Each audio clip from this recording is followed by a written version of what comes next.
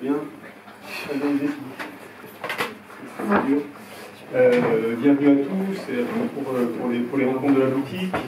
Ceux qui ne connaissent pas le principe, on fait venir régulièrement des, réalisateurs, des critiques euh, pour, pour, parler des DVD, pour mettre en avant des, voilà, qu'on a dans notre, dans notre espace.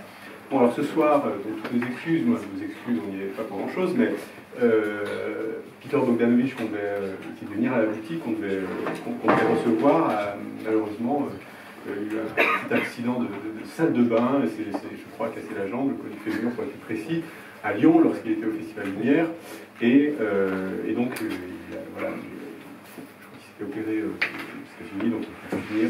Donc, euh, je ne sais pas qui doit s'excuser, mais c'est comme ça.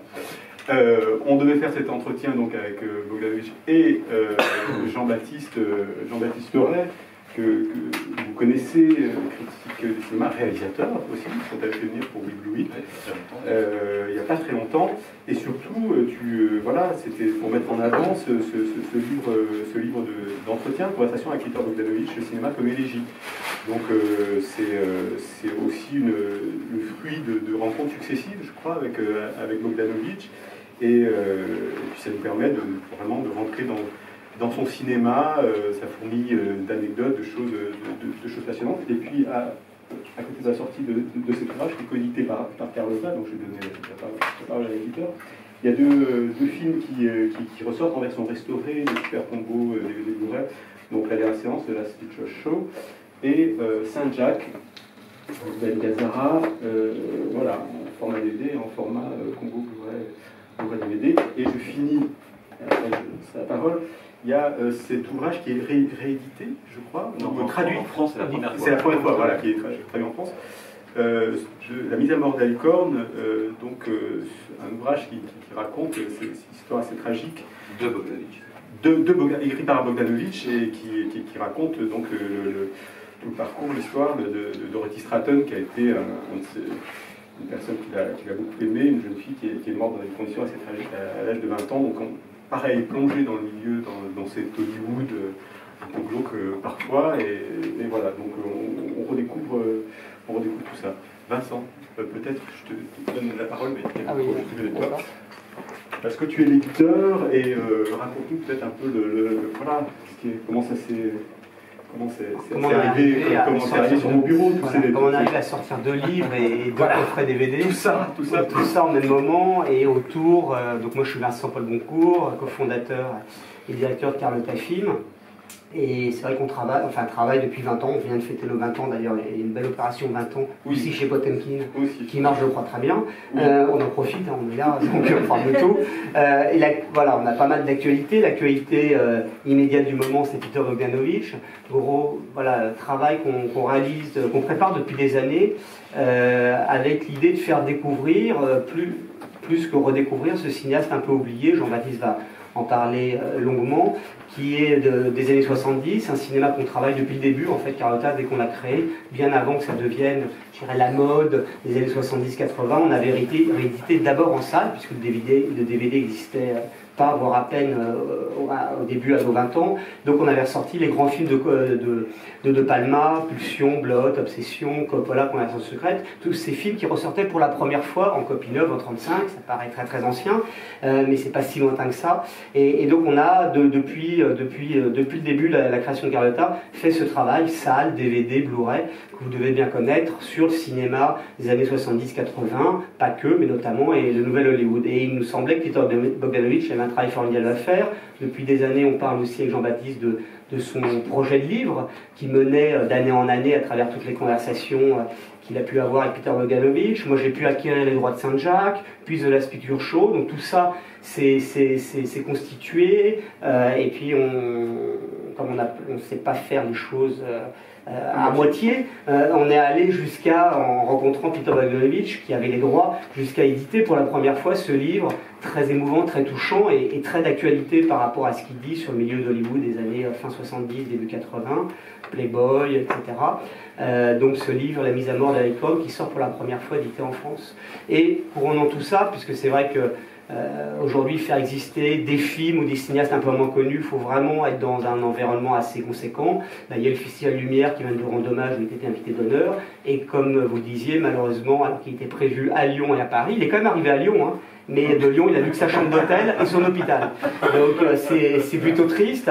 Lui était euh, enragé et aurait voulu vraiment être là, évidemment, faire partie de la fête puisqu'il est célébré. Il était célébré tant à Lyon et à Paris. Après, on continue sans lui, mais avec une grande pensée avec lui. Et d'ailleurs, quand je l'ai vu à l'hôpital à Lyon, il portait son badge, son accréditation du festival où il disait, vous voyez, je suis, l'invité euh, invisible du festival, mais je suis bien là.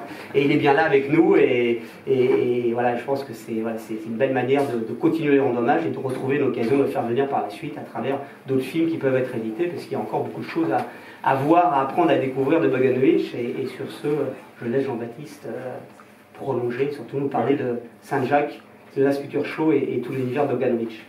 Merci Vincent.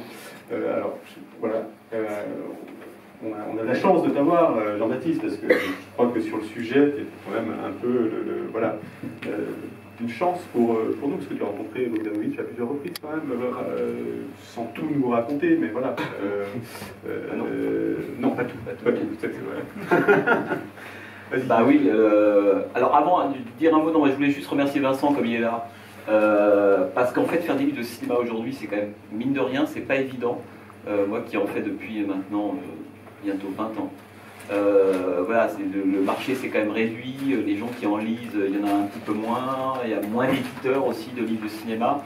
Et donc c'est agréable à la fois de trouver un éditeur qui accepte de s'engager sur un, sur un livre sur Peter Bogdanovich, parce que quand vous voyez aujourd'hui les éditeurs, beaucoup en fait acceptent de faire des livres, mais sur des sujets soit extrêmement emblématiques, film noir, le western, le peplum, des gens un peu, un peu grand public, on fait un film, on fait un livre qui sort pour Noël, qu'achètera la grand-mère à son petit-fils, euh, ou alors sur des cinéastes extrêmement déjà reconnus. Et Peter Bogdanovich, euh, c'est un, un, cinéaste qui ne l'est pas aujourd'hui. Il est, il, est, euh, il est connu ou reconnu par une petite partie de la cinéphilie uniquement, mais pas d'un très très grand nombre. Donc il y a quand même un pari de, fait, de vouloir d'accepter de faire un livre, en plus un beau livre. Euh, c'est pas, du, c'est pas du paperback sans photo, donc ce travail-là, il est, il est aussi important. Euh, et on a été aidé par quelqu'un qui s'appelle Bill Tech, il faut le dire, celui qui a fait le documentaire One Day Since Yesterday, qui est euh, avec le, le, film. un livre et un livre. Voilà, qui, est un, qui a été un peu, on pourrait dire, le, fan américain de Peter Bogdanovich, qui était complètement déchaîné à l'idée que le nom de Bogdanovich puisse un peu exploser en France, etc. Et qui nous a beaucoup aidé sur la, recherche d'archives, parce que Bogdanovich a laissé toutes ses archives dans la bibliothèque de l'Indiana pas Hélène, et donc il faut aller vraiment au cœur des États-Unis pour. Et en fait, c'est ces archives-là qui ont notamment beaucoup euh, servi pour euh, constituer la partie icono du bouquin. Euh, donc voilà. qu'est-ce que oui non, ta question c'est non par rapport aux conversations aux entretiens que oui, oui. et bah, en fait c'est très simple c'est que moi qui en fait moi qui, qui rencontre ces, ces, ces signaux des années 70 depuis maintenant assez assez assez longtemps que quand on va à Los Angeles on, on va quand même au cœur du volcan et donc, euh, si on en voit un, on se dit pourquoi pas en voir un autre, et puis un autre, et puis un autre. C'est presque le temps qui manque, hein, en fait. Et, euh, et dans le cas ça a été un peu différent. La première fois que je le rencontre, c'est en 2009, si je ne dis pas de bêtises. Donc, c'est assez récent, finalement. Et, euh, il avait été invité aux rencontres de, Seine-Saint-Denis. En, France. Et puis la personne qui s'en occupe cherchait quelqu'un pour faire la masterclass. Alors Bogda, radio. Il m'appelle, il, s'est dit, bon, c'est vrai qu'un des 70, t'aurais, euh, etc. Il me dit, euh, vous voulez pas faire la masterclass? Je lui dis, bah pourquoi pas? Et donc je me mets à échanger avec Bogdanovich par mail avant, lui disant un peu, parce que je sens quand même que c'est un gros morceau, Bogdanovich. C'est quelqu'un qui a lui-même été critique, qui a lui-même écrit des livres, qui a rencontré les Wells, Hitchcock, euh, Hawks, toute la bande. Donc il a aussi une pratique, c'est à la fois, Bogdanovich à la fois un historien, de cinéma et un, et un cinéaste. Et moi, c'est ça qui me passionnait aussi. Et donc, on fait cette masterclass avec lui il y a une, dizaine d'années. Et ça se passe plutôt très bien. Euh, je le revois le lendemain, lui c'est dommage, une heure et demie de, de, rencontre sur une carrière aussi vaste. Et puis je le revois, et puis à la fin de, ce, premier, enfin, de ce deuxième entretien, euh, je lui dis, ben, euh, la prochaine fois que je vais, à, je vais LA, je vais vous voir, on va continuer l'entretien. Il me dit, ben, avec grand plaisir. Et c'est là que ça a commencé. Et comme moi je vais aux États-Unis assez souvent, à chaque fois que je vais à Los Angeles, j'allais le voir. En le café chez Bogdan. Oui, d'ailleurs, entre parenthèses, c'était jamais chez lui. Ça qui m'a toujours amusé, c'est que, on pourra en parler longuement, c'est que c'est quelqu'un qui euh, j'ai toujours vu chez Sybil Shepard, chez Louis Stratton, enfin chez des gens différents. La première fois, j'ai passé une, semaine chez lui, pensant que c'était chez lui, mais c'était pas chez lui. Et puis le, vendredi, il débarque Sybil Shepard et je comprends que je suis chez elle depuis une semaine et qu'en fait, c'est pas euh, que voilà, il, est comme ça. les femmes de sa vie ont absolument, c'est très important. Absolument. donc il a gardé un lien avec il y a le cas de Stratton qui on en parlera, qui est très particulier. Et donc ça s'est fait comme ça, et ça a été une conversation, on, pourrait dire, euh, assez, assez intense quand même, et que j'ai eue sur 10 ans. Et ça, en fait, ça m'a intéressé parce que, euh, en fait, ça a été une chance que j'ai eue. La plupart du temps, quand on a envie de faire un livre d'entretien avec un cinéaste, on essaie de bloquer une semaine avec lui, et puis on a, voilà, on essaie de de, sessions un peu hardcore, et à la fin on fait le livre, voire on passe trois heures on fait un livre, ça c'est encore autre chose. Euh, et là, ce qui a été formidable, c'est que, et c'est ce que j'ai voulu garder comme structure dans le bouquin, c'est pas du tout regrouper tout ce qu'il m'avait dit, en fait réorganiser la matière en fonction d'une chronologie liée à ses films ou, à ses, euh, ou à sa propre vie. J'avais envie de garder la chronologie de notre rencontre. Mm. Parce que ce qui m'intéressait évidemment, c'est qu'en dix ans, le, le personnage évolue par moments même sur ses propres, sur ses propres films. Et il y a des sujets, par exemple, comme la question du cinéma américain versus le cinéma européen, qui est quelque chose qui est central chez lui. Euh, il y revient au cours de 10 ans, 3-4 fois, et je me suis dit, on va garder ça parce qu'on voit au fur et à mesure la façon dont il évolue, ou pas d'ailleurs, hein, sur cette question de ce rapport un peu très paradoxal au cinéma européen. c'est comme ça Il y a des entrées de chapitres, Saint-Jacques, Orson Welles, Nickelodeon, ça Pekipage, l'enfance serbo-croate, euh, le théâtre, le grand couteau. donc c'est, ça, vous connaissez, tu connais le modèle euh, non. Bah, c'est le, modèle Truffaut-Hitchcock. Ah d'accord, ok. d'accord. C'est cette idée en fait de, prendre par chapitre des mots-clés qui sont des moments euh, qu'il va aborder. Alors, on saute pas du coq à l'âne comme ça dans le livre. Hein. Non, non, pas du tout. c'est pas et Orson Welles et Sam Peckinpah. Non, mais c'est pas. Il n'y a, pas quelque chose de chronologique par rapport à ces films qui sont. non, mais moi j'avais envie de garder la chronologie en fait de la, de, la rencontre. Mm. Parce qu'il y a aussi le fait que quand on côtoie un cinéaste, parce qu'on le côtoie à la fois parce qu'on lui pose des questions, puis on le côtoie aussi par, par d'autres moments, par, par d'autres biais. On passe du temps avec Los Angeles, on, passe trois heures sur la route à LA, ce qui va vite, mm, mm, mm. donc à, parler d'autres choses. Donc ça, ça nourrissait aussi le livre et je trouvais que c'était intéressant de garder cette espèce de, cheminement-là. Il y a des questions, par exemple, on parlait de Peckinpah, qu'il n'aime pas beaucoup, bah, voilà. Euh, ou Léon. Euh, il, a la dent, il, a, la dent dure sur certains... Euh, euh alors, il a la dent dure. Disons qu'il n'est pas rancunier, mais il a de la mémoire. il, a, de la mémoire, mais il a des, euh, goûts assez. Euh, par exemple, Léon. Non, mais parfois c'est au niveau de l'anecdote. On ne sait pas ce qui relève de l'anecdote ou vraiment de ce qu'il n'aime pas. Je sais pas, par exemple, dire Billy Wilder est un con, paf, point. Non, non, mais. C'est, non, mais tu peux pas balancer ça. Il ça n'a aucun sens, quoi. Non, non, non mais l'histoire est toute bête, c'est qu'il se retrouve. Donc 1980. Euh, peut-être qu'il faudrait parler un peu de Bogdan à un moment donné. Oui, mais, 1980, euh, donc il, vient de tourner ce film qui s'appelle Et tout le monde riait, euh, qui est un film très important pour lui, qu'il a tourné à New York, parce que c'est un cinéaste qui est originaire de New York, Bogdanovich. Il retourne à New York, il va donc tourner ce, film-là, qui est une scène de film choral mêlant la comédie, le film d'espionnage, un film formidable. Je ne sais pas si certains d'entre vous l'ont vu. Vous l'avez vu, vous? Ça vous a plu? Avec Audrey Hepburn. Absolument. Et Ben Gazzara, magnifique. Et donc il tourne ce film-là, et dans ce film-là, il y a Dorothy Stratton notamment, qui est, on pourrait dire, sa nouvelle muse de la fin des années 70. Il a eu Sybil Shepard, qui a été sa muse de début 70s, et puis il se sépare, euh, et il rencontre Dorothy Stratton, qui va devenir quelqu'un d'important pour lui. Il tourne donc un film avec elle qui s'appelle Et tout le monde riait. Le problème, c'est que cette femme donc est assassinée par son ex-petit copain, enfin son ex-mari plus précisément, euh, alors qu'il est en train de terminer le montage de, Tout le monde riait. Euh, donc c'est quelque chose qui va dévaster Bogdanovich, il va mettre 3-4 ans à s'en remettre et le film d'après, ça sera Masque film formidable d'ailleurs. Et euh, un jour, donc, il se balade, je sais pas, Beverly Drive, enfin quelque part à Los Angeles, et il croise Billy Wilder, qu'il avait déjà rencontré plusieurs fois, etc. Et Billy Wilder, à ce moment-là, s'adresse à Bogdanovich, lui fait part d'une nouvelle qu'il vient d'entendre, et lui raconte l'anecdote de cette fille qui vient de se faire trucider par son ex-mari. c'est. Euh, et, et, Bogdanovich, non, je dis ça parce que quand il dit Billy Wilder est un con, tu vois, le contexte change quand même un peu le euh, l'assertion. Oui, Et, euh, et, finalement, il, donc, et, et, Bogdanovich pense à ce moment-là que Billy Wilder va se rendre compte immédiatement qu'il est en train de parler de, de la compagne de Bogdanovich. Billy Wilder ne s'en rend pas compte ou ne veut pas s'en rendre compte ou ne le sait pas, enfin on ne sait pas. Et il continue à détailler cette histoire en disant ça ferait un super film. Voilà. Et euh, Bogdanovich ne dit rien, euh, est, totalement éberlué, et même tétanisé devant. la, on peut entre soit cette amnésie, soit ce manque d'élégance, ce mauvais goût, on ne sait pas comment appeler ça. Et donc c'est de là qu'il ne, il ne reparlera plus jamais à Billy Wilder, et c'est là qu'il dit ce type est un con. Voilà. Donc tu vois, là on peut. T'aurais fait pareil. non mais par contre, je, je reprends la, porte d'entrée de l'opposition cinéma américain, cinéma européen. Euh, où, euh, pour le coup, bah, ses, origines serbo-croates sont importantes aussi pour voir la façon dont il a aimé ce cinéma américain, dont il s'en est emparé, il est né aux États-Unis, hein, mais euh, dont ça a été important pour lui. Et c'est vrai que pour le coup, je le trouve assez, par rapport à des cinéastes comme Antonioni, comme il est, il est voilà, il est, assez dur quand même. C'est-à-dire que c'est un cinéma qui, voilà, qui, ne lui parle pas ou qui, pour lequel il n'a pas beaucoup. Euh, voilà. Oui, Même Fellini, le, le, second Fellini, ah tout ça, il est vraiment euh, très. Il, il, est, il, est, vachard, quoi, je trouve. Euh, mm. Voilà. Peut-être. Oui, mais en fait, pour, pour moi, c'était une des questions les plus intéressantes concernant Bogdanovich.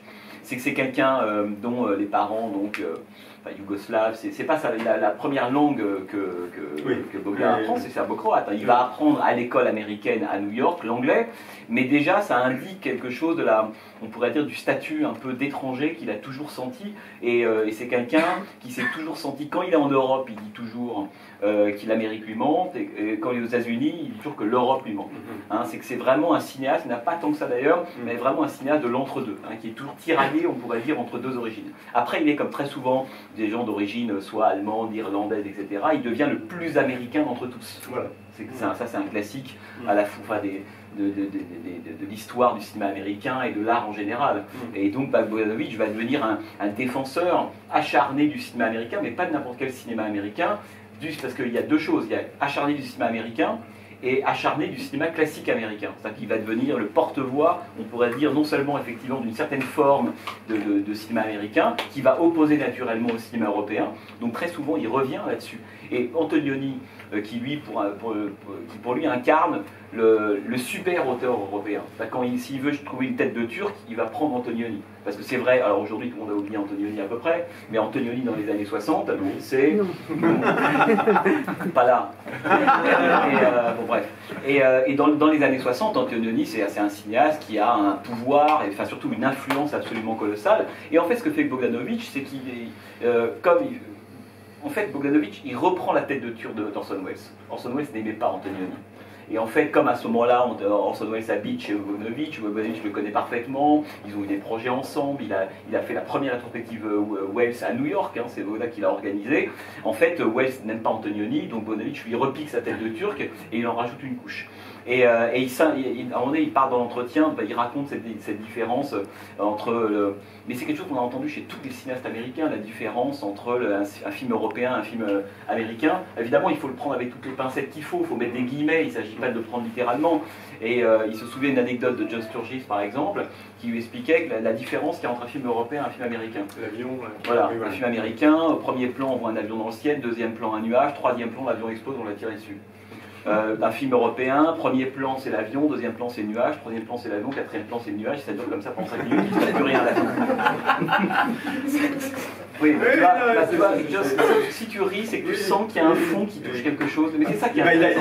Il l'a dit, dans l'autre sens. Voilà, et, mais pareil, moi je me souviens avec. Mais c'est euh, assez beau ce qu'il dit sur Walsh aussi, sur la politique. Voilà, mais surtout, c'est d'autant plus drôle que quand on regarde aujourd'hui beaucoup de films classiques américains des années 40-50, je ne parle pas du cinéma muet évidemment, mais pas forcément des années 30, c'est que c'est un cinéma qui est extrêmement bavard. Et qu'en fait, on, on, dit souvent le cinéma américain, c'est l'action plutôt que le verbe. En fait, c'est l'action et le verbe. Euh, quand vous regardez, on parlait des films de Howard de Preston Sturges, d'Elo Macaré, tous ces gens-là, c'est ultra bavard. Hmm. Et il y a cette espèce de mythologie que le cinéma américain classique, il parle pas, que c'est tout John Wayne. Non. Hmm. quand vous regardez des films américains classiques, ils sont aussi bavards que les films européens. La différence, c'est que cette espèce de bavardage, il se convertit à un moment donné voilà, en action. C'est ça la grosse différence. Et pour Bogdanovich, cette opposition Amérique-Europe, elle est très intéressante, d'autant plus que lui dit ça, Et en même temps, après, on se dit, bah, très bien, Peter, euh, tu dis ça, maintenant, tweet de tes films. Qu'est-ce que tu fais ah, oui. Euh, or, quand on voit la séance, quand on voit Daisy Miller, adaptation de nouvelle d'Henry James, on se dit, bah, plutôt, tu nous parles d'explosion d'avion dans le ciel, et je vois une adaptation d'Henry James, laquelle il se passe strictement rien pendant 1h45. Et ça, c'est toute la contradiction de, de Bogdanovich, que bah, Daisy Miller, vous l'avez peut-être vu ce film Oui.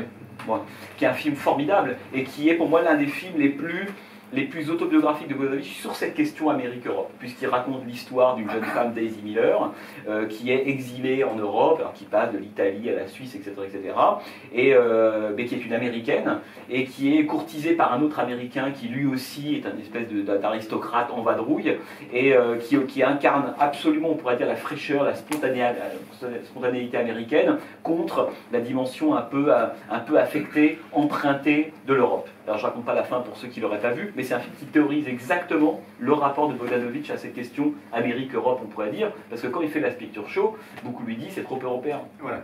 Hein et il filme un Texas, et il filme un Texas qui, oui, voilà, qui découvre, qui ne connaît pas et qui découvre à travers des, euh, qui, qu'il reconstruit. C'est vraiment une sorte d'imaginaire. non, mais juste un, moment ce qu'il faut dire avec cette question Amérique-Europe, c'est qu'il ne faut pas le prendre. Ça n'aurait pas d'intérêt mm. de, dire oui, bah, je pensais du cinéma européen. Vous voyez, bon, mm. c'est pas forcément hyper intéressant. Ce qui est intéressant, c'est de, de, comprendre. Moi, moi c'est ce qui m'a semblé évident à force de passer du temps avec lui et de parler avec lui, combien cette de tension entre l'Amérique et l'Europe, elle est une matière de ses propres films. Oui, ça nous Voilà. Et, mais c'est une tension qui n'est pas résolue. Mm. C'est ça qui est passionnant. Daisy Miller, euh, on, parle de Last Picture Show, euh, mais même, même Saint-Jacques pour ceux qui l'ont vu, tous ces films-là sont travaillés par ça, comme d'autres sont travaillés par d'autres oppositions. Mais dans le cas de Bogdanovich, c'est mais euh, je suis européen ou je suis américain? Parce qu'il sait quand même que la patrie de la cinéphilie, mm. c'est aussi l'Europe, mm. et singulièrement. Il est, et puis c'est un New-Yorkais. Mm. Et quand on est New-Yorkais, on n'est pas le même Américain que quand on est Californien ou quand on est Texan. Donc euh, s'il en parle autant de l'Europe, il faut presque, sans faire de la psychanalyse de bazar, il faut aussi penser que c'est quelque chose avec lequel il se débat, parce qu'il sent qu'il y a du truc européen en lui, et, c'est la matière de ses films. C'est une partie de la matière. On prend les choses, après je fait le micro, hein, donc préparez vos questions, mais euh, on prend les choses un peu aussi à l'envers, parce que lui, comme tu le disais, il commence par euh, un travail de critique, il est comédien, un travail de critique, et il est en contact avec tout, le, toutes les les, grands noms du cinéma, du cinéma classique. Et il arrive au moment euh, du Nouvel Hollywood. Donc il y a encore cette, grille de lecture majeure, je trouve, dans son cinéma, c'est-à-dire que il est le, critique, le confident, l'ami des Ford, Hawks, euh, Wells, euh, de gens qu'il admire, et il est le contemporain bah, de, Coppola, de Friedkin, et lui, quel cinéma il va faire? Donc il n'aura de cesse de, voilà, d'être, quand on voit de la Spencer Show, on, sent le classicisme, et en même temps, on sent qu'il y a un pied dans, la, dans, dans, cette, dans, ce rapport-là aux images, dans, je sais pas, des, des, scènes des scènes de sexe qu'on n'aurait pas vues, euh, ou des scènes de nudité qu'on n'aurait absolument pas vues ah euh, Dans, dans, le cinéma classique. Peut-être que tu peux. Euh, oui, mais en fait, mais c'est ça, en fait, l'intérêt de Bogdanovich, c'est que une des raisons aussi pour lesquelles c'est quelqu'un qui est relativement mal connu ou identifié ou classable, classable, euh, c'est qu'en fait quand on a, on a commencé à faire de façon un peu sérieuse et systématique l'histoire de Nouvelle Hollywood, il y a une dizaine d'années, euh, maintenant elle est à peu près faite, même s'il y a énormément de cinéastes qu'on a qu'on aurait envie d'inviter à la table, mais il se trouve qu'il en reste encore beaucoup. Euh, quand on fait cette espèce d'histoire-là, en fait, on a la critique à ce moment-là une tendance, à la fois c'est une histoire à faire, formidable, très important, etc., mais elle a une tendance à, on pourrait presque dire, à, faire du nouvel Hollywood une série de critères ou, euh, ou de déclarer une série d'items qu'il faut que si on respecte ces 15 items-là, on appartient au nouvel Hollywood. Donc, quand on s'appelle Coppola, euh, Friedkin, Scorsese, Altman, enfin tous ces gens-là, Denis Hopper, on y est forcément. Et puis Bogdanovich, le problème, c'est que lui, euh, oui, tu as raison, il est euh, contemporain de Nouvelle Hollywood, mais quand on voit ses films, on pourrait dire que l'item Nouvelle Hollywood apparaît pas d'emblée. Hein, apparaît pas d'emblée, sauf dans son premier film, pour lequel on peut peut-être revenir, qui est pour moi Target, la cible, Target, qui est son film passionnant. Et donc tu as raison, c'est quelqu'un qui est dont, le premier film date, de quand même de 67, enfin sorti en 68, hein, l'année de l'assassinat de RFK, etc., etc. Le film d'ailleurs est sorti à peu près massacré parce que comme RFK vient de se, Robert Kennedy vient de se faire assassiner, tout le monde a extrêmement peur de ce, petit film qui met en scène un seul de tueur euh, qui assassine ah comme ça des gens à Los Angeles euh, au hasard. Hein. Donc les, distributeurs font marche arrière, le peuple américain est traumatisé par ça et puis Bogdanovich sort son film. Et donc il raconte ça. Et il raconte combien euh, ils, se mettent à vendre n'importe comment le film. Euh, par exemple, ils, inventent un slogan qui est Why Gun Control? Pourquoi c'est bien de contrôler les armes? Une fois que vous aurez vu ce film, vous comprenez, le film n'a aucun rapport avec ça. Et donc la sortie est un peu massacrée Mais donc il est, contemporain. Ce qui est intéressant avec Bogdanovich, c'est que si on regarde qu'une partie de son, parcours, on se dit bah, il, est, il est Nouvelle Hollywood à 100% aucun problème. Il arrive en 68, il est embauché par Roger Corman, il est aux côtés de Jonathan Demi, euh, euh, Coppola, Monty Hellman, enfin tous ces gens-là. Euh, Corman produit son premier film, donc on se dit c'est parti comme en 40, encore un nouvel. Et ce qui est fascinant, c'est que quand il fait son premier film, son premier film, c'est alors c'est le film, tu parlais de cette tension-là entre est-ce qu'il est duel Hollywood ou est-ce que c'est en gros un espèce de, de, cinéaste un peu nostalgique qui ne rêve que de l'âge d'or et qui serait arrivé trop tard? Or c'est aussi vrai ça il fait la cible, et la, film, la cible, c'est un film qui met en scène ça, en gros, qui met en scène un jeune type joué par Bogdanovich, euh, qui appartient complètement au Nouvel Hollywood, euh, il y a le DJ, il y a, il y cette espèce de famille du tueur, on est vraiment dans le film Nouvel Hollywood totalement, en tant que la critique de la famille, la critique de la télévision, le côté absurde des actions, tout y est, on peut prendre un QCM, donc, et puis à côté de ça, il y a Boris Karloff, qui c'est son dernier rôle, et euh, qui tourne parce qu'il devait, devait trois jours de tournage à Corman, donc quand Corman va produire le film, à Karloff pour trois jours. Et euh, le problème de Bogdanovich, c'est qu'il se dit, mais j'ai l'histoire d'un tueur en série qui vient de Charles Whitman, hein, la, fameuse tuerie du Texas à Austin. Donc j'ai Charles Whitman, j'ai Karloff, qu'est-ce que je fais avec ces deux trucs-là? Et là, c'est Samuel Fuller hein, qui, lui, euh, qui est ami avec Samuel Fuller. Et un jour, il va chez Samuel Fuller, il passe un après-midi chez lui, et il lui dit, bon bah Sam, j'ai un problème, j'ai cette histoire, comment je fais? Et en fait, c'est Samuel Fuller qui va quasiment rien réécrire le scénario. Et, euh, et Bogda qui lui dit à ce moment-là, bah, je vais forcément te créditer, tu as tu m'as donné les nœuds principaux de l'intrigue, bien surtout, fais pas ça, parce que si tu le fais, on comprendra que c'est un film de Fuller. Donc, Samuel Fuller n'est pas crédité au générique de cible, mais c'est lui qui a donné les vraies clés, les vraies portes pour, euh, pour ce film. Et, euh, et ce film-là, pour moi, c'est le, le film manifeste de Bogdanovich. C'est-à-dire qu'à ce moment-là, il est à la croisée des chemins quand il fait la cible. Est-ce qu'il va aller du côté du Nouvel Hollywood pur et dur, auquel cas on n'en parlerait pas comme on en parle aujourd'hui, ou alors il va aller du côté du cinéma classique. Hein, il va aller chercher les Karloff, quoi. tous les Karloff, les, Ben Johnson, on va rendre hommage à Hawks, à Ford, etc. Et il va jamais choisir. C'est ça qui est beau, c'est qu'il veut l'un et l'autre. C'est que, comme tu disais, la Picture Show, c'est un film qui est un film en noir et blanc, donc il va faire deux films hein, quand même en noir et blanc à ce moment-là de sa carrière. Un film en noir et blanc sur le Texas des années 50, euh, qui, qui, vu sur le papier, on se dit, putain, Nouvelle Hollywood. Jeunes euh, acteurs euh, inconnus. Ouais, jeunes acteurs inconnus. Ben Johnson qui vient de, de, chez Ford, de Combat des Braves, etc. Donc là, c'est du revival. Enfin là, c'est le truc un peu, un peu, un peu naftaliné, quoi, qui va, qui va nous faire. Et puis après, quand on regarde le film, on se dit, mais alors effectivement, d'apparence, c'est un film classique mise en scène extrêmement classique. On n'est pas, on pas chez Denis Hopper. Hein. Il n'y a pas de faux raccords, il n'y a pas de flash, il n'y a pas de livres, etc. C'est ultra classique. Donc on sent qu'il il aime cet art de la mise en scène classique américain, et ça c'est comme ça qu'il le réalise. Et en même temps, le sujet et la façon dont il traite cette espèce, cette, petite jeunesse-là, on est complètement dans les années 70. Effectivement, la nudité de Sylvie Shepard, euh, le fait que les, bah, ces, gamins, ils rêvent, euh, ils rêvent pas d'aller, d'aller, euh, d'aller très très loin, ils rêvent d'aller à 20 bornes, et pour eux c'est vraiment le pays d'Oz. ils ont une vie d'un un cinéma va fermer, l'histoire suit quand même la fermeture d'un cinéma, et donc on a un espèce de mélange entre le classicisme du point de vue de la forme et du point de vue des thèmes et de la modernité, quelque chose qui est totalement des 70. Mais ça fait de Bogdanovich un cinéaste Noël Hollywood, et presque deuxième manière, second degré, tellement ça devient complexe de, capter ça. D'autant plus que après ça, il va faire What's Up Doc? Vous avez peut-être vu What's Up Doc?